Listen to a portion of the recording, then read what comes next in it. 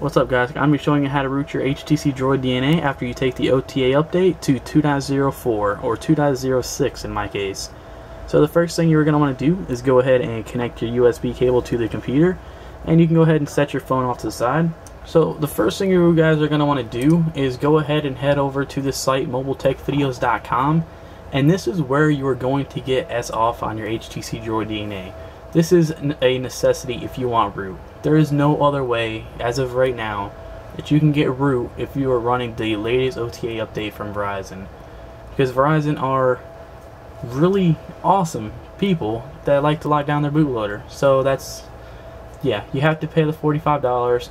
In my opinion, it is absolutely worth it. I will be providing a link below to my video of when I got my phone back.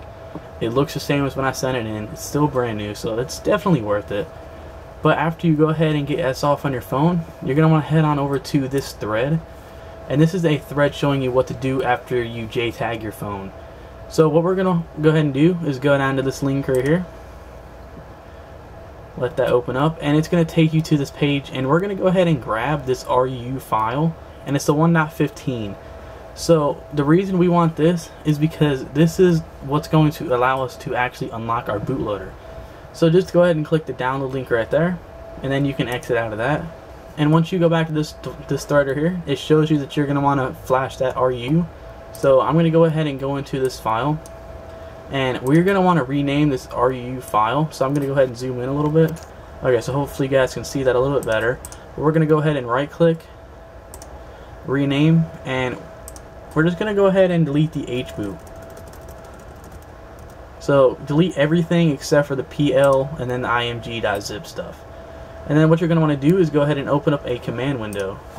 So my version of Windows is different I guess, but I have to hold shift on the actual folder itself and open a command window. Yours may be a little bit different, but I'm going to go ahead and ADB devices, just go ahead and make sure your device is attached. Alright, so after that, we're just going to go ahead and ADB reboot into the bootloader. So ADB reboot bootloader and it's going to reboot our device into the bootloader. So you see right there, we are in fastboot USB. Go ahead and set the device off to the side and fastboot devices just to make sure we still have our device connected again if you don't have the drivers installed correctly then nothing will show up right there and fast boot, OEM, reboot, RU. And we're to go ahead and reboot that. Basically what this is to do is put your device like that. And then we're going to go ahead and flash the actual zip. So we're going to do fast boot. Sorry, my kitten is in the way, and he's kind of annoying, but PL, and then I'm just going to go ahead and hit tab because it works for me, and hit enter. And this is going to flash the bootloader from the 1.15 software version. So basically you're going to see a little green bar that's going across, and we're going to go ahead and wait for this to finish. Alright, and just a little heads up to you guys, my little my progress bar got about 75% full, and then it just got stuck. So I thought it was just going to flash so I went ahead and used the bathroom and it still didn't finish so I thought that it's because I didn't have the right system installed and I checked the thread again and it was because I didn't have the right system. So if we move this out of the way and we go back to the XDA thread we'll go down and it says you need to RU back to the 1.15 system because we are running that bootloader so we need the actual you guessed it RU. So if you see right there under HBoot. It is 1.33. That is the one that we want. And I'm to go ahead and download this and I will be right back. Okay, so the download is finally finished. It only took about 8 minutes because AT&T sucks. But if you don't have Chrome and the download doesn't show up, you can always go to where you downloaded it. Which I downloaded it in my Droid DNA folder to just to go ahead and keep things in order. So I have everything in here. So we're just going to double click on it. Alright, and then you're going to get this little thing that pops up and just gonna hit yes I'm pretty sure there's a virus in here if there is I'll be the first person to know I guess alright so this is what it's gonna look like when it opens up it's gonna go ahead and prepare for the installation So just go ahead and wait for this to finish. Shouldn't take too long. Alright, and that didn't take too long. Once it loaded up, you're just going to get to this right here where it shows, kind of just like the HTC first, but go ahead and click I understand. Then we're going to go ahead and click next. Oh, and by the way, our phone is still in the bootloader, by the way. So, just something to remember. Now, we're going to go ahead, since I know it's probably going to ask for it, we're going to go ahead and hit the power button on fast boot. And it mm-hmm. should be in fast boot USB. So, you go ahead and put that to the side. Now, actually here, we're to have to go ahead and click I have completed. Go ahead and hit next. And it's to verify the information on our phone. So hopefully this passes. It says current information. We're to go ahead and hit update. Alright, we're just to go ahead and verify that we want to do this. Go ahead and hit next. Because of course we want to do this, right? And then of course we can't use our phone, but I mean, we can't use our phone right now anyways, it won't turn on. But we're to go ahead and hit next. And this is to check. It's going to pass and it's going to wind up installing. I guess you can't move it. But I will be back once this is done I just wanted to point out to you guys that it took about 10 minutes for me to get it to actually start with the progress bar. So if you think that it's not going to work, just give it about 10 to 15 minutes. Because I was sitting here and I was scared. I thought it actually, it actually wasn't going to work. But it took about 10 minutes where it kept on sending and it finally started to where it started updating the bootloader, the radio, and everything like that. So give it some time. It will work. I was kind of concerned too. I know you guys are going to be, so that's why I figured I'd let you guys know. But I'll be back once this is actually at 100%. Alright guys, and it says that it has completed and then it's rebooting the phone. So as you see right here. Get that awesome Droid DNA boot animation.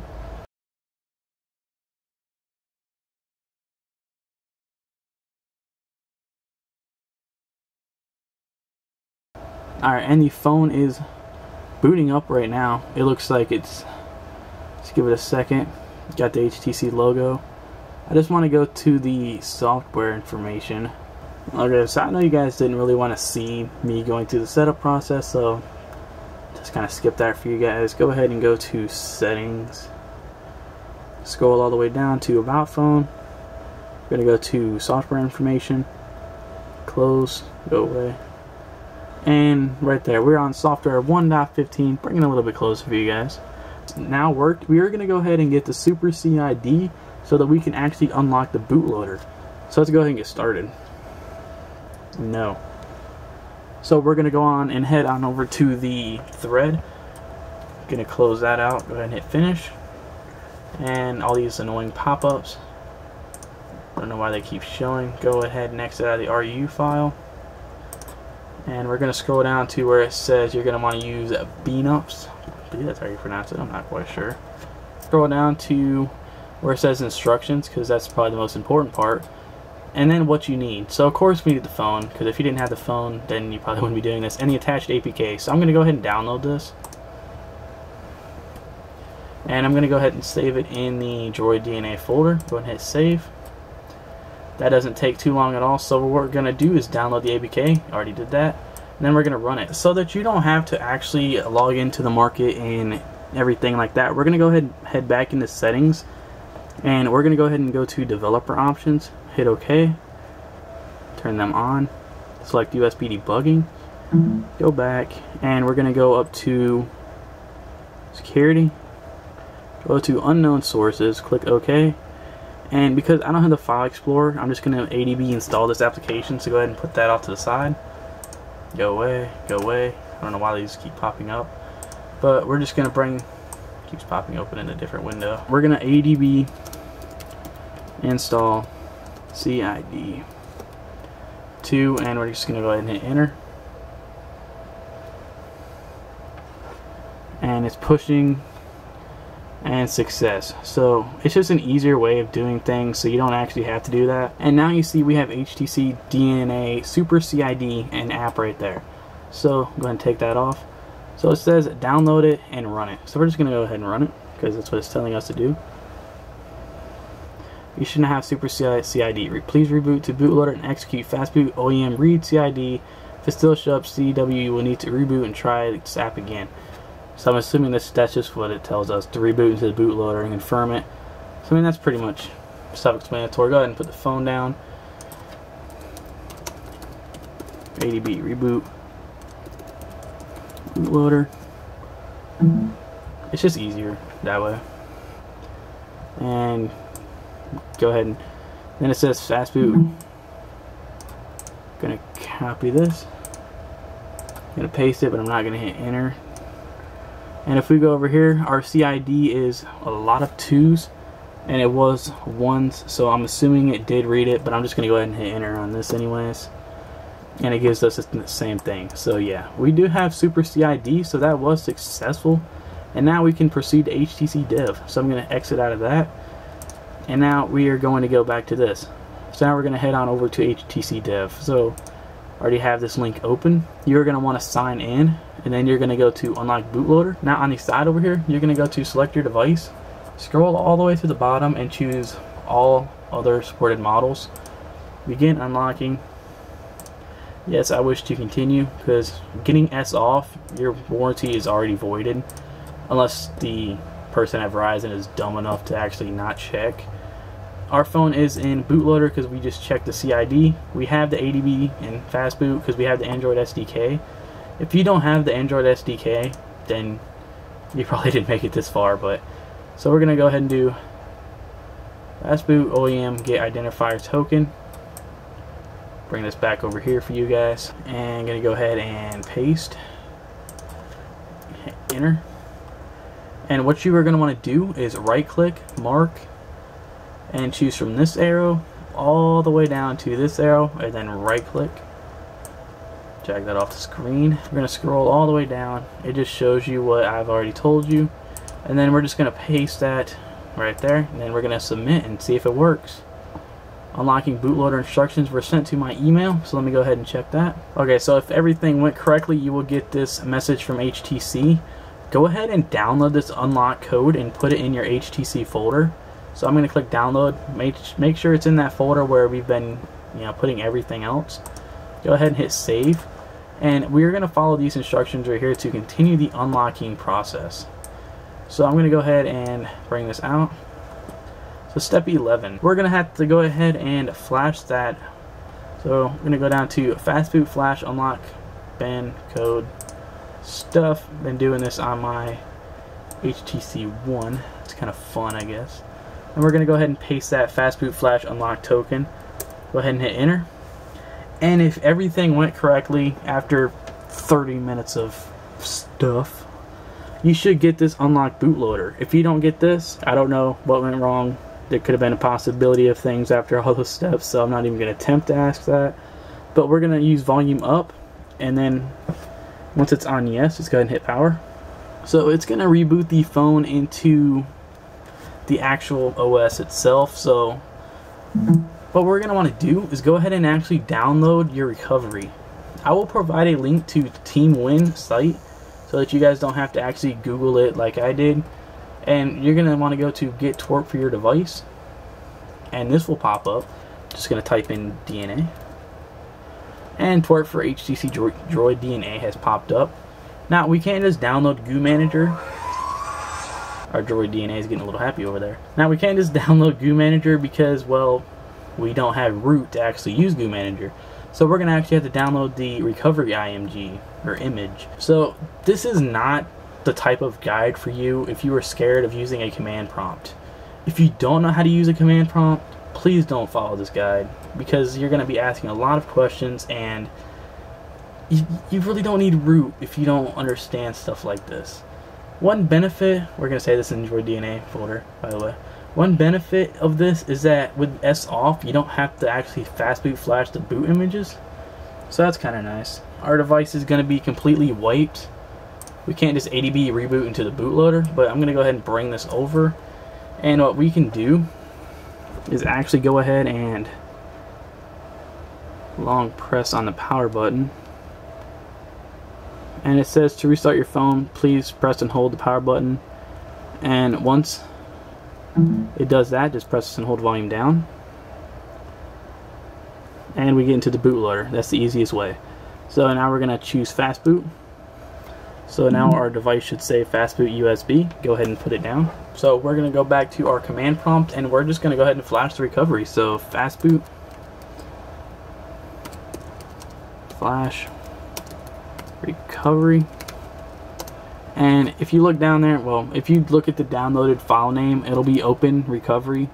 If you type in open and hit tab, it'll fill it out for you so you don't actually have to type everything. Go ahead and hit enter and if you typed it incorrectly it will send the recovery fast boot reboot recovery I think I typed that wrong sorry recovery hit enter alright so never mind that was just a complete fail go ahead and zoom back out for you guys and just do this the manual way I guess we're gonna go ahead and go down to bootloader we're gonna go down to recovery press power and if we did this right, well, we have that.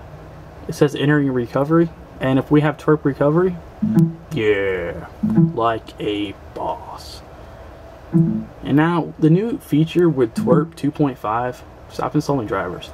The new feature with TWRP 2.5 is that if we reboot to the system, it will say your device does not appear to be rooted. So install Super SU now, and we're just going to go ahead and hit yes and it's as simple as that. It will install a Super SU installer. I don't know why it doesn't just install the actual APK itself and make more sense. But we're to go ahead and let this boot up. Alright, so I was to fast forward through that for you guys, but I didn't want to make you sit through it again for like the third time that we've rebooted our phone. So if you go ahead and pull down your notification shade, it says tap to install Super SU. And we are not going to connect to that, but we are going to go ahead and install. We're going to use TWRP. Okay, and it says that the download was complete, so we're going to go ahead and hit continue. And it's going to reboot us into TWRP to install it. So we are entering recovery again. Mm-hmm. And it's installing, wow, that text mm-hmm. is small. So we have successfully downgraded our system. We have Super CID the bootloader, we have unlocked the bootloader, we have flashed the custom recovery, go ahead and unlock that, and we have installed Super SU. So basically, we go into our app drawer, go over to Super SU, and Super SU has just forced closed on us. So, go ahead and reopen it again. And that's that's basically it. We have successfully fully rooted our HTC Droid DNA. I would download a root checker app for you guys, but I'm not signed into the Play Store, and there's no, you know, like there's no point in my opinion. I mean, after going through all that, you know the super user is gonna work anyway. So, but yeah, guys, if you like this video, please give it a thumbs up. After all that, it would really help me out a lot. And if you guys want to see any more videos on the Droid DNA, leave a comment below. I'll see you guys in the next video, hopefully if my phone makes it.